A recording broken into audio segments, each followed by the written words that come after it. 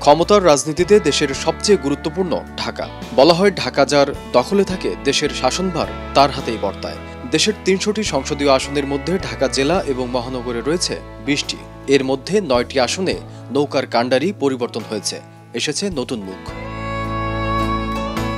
ঢাকার বিশটি আসনের মধ্যে এবারই প্রথম আওয়ামী লীগের মনোনয়ন পেয়েছেন ঢাকা পাঁচ আসনে হারুন রশিদ মুন্না, ঢাকা ছয় আসনে সাইদ খোকন, ঢাকা সাত আসনে সোলাইমান সেলিম, ঢাকা আট আসনে আফম বাহাউদ্দিন নাসিম, ঢাকা নয় আসনে সাবের হোসেন চৌধুরী, ঢাকা দশ আসনে ফেরদৌস আহমেদ, ঢাকা এগারো আসনে ওয়াকিল উদ্দিন, ঢাকা তেরো আসনে জাহাঙ্গীর কবির নানক এবং ঢাকা চোদ্দ আসনে মাইনুল হোসেন খান নিখিল।